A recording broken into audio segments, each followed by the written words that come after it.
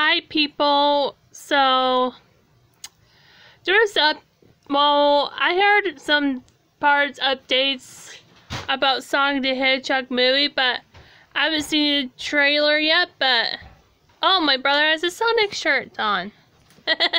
He's running for me, so I'm looking for the new Sonic movie, and and I would like to see it. And I'm a little bit fan of Sonic, so I grew up on it when I was a kid of 90s stuff.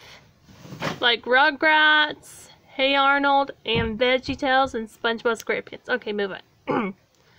so, I, and Jim Carrey, you know, there he is right there, and D because he played the movie Grinch, and if you never heard that live action one, go check it out. It's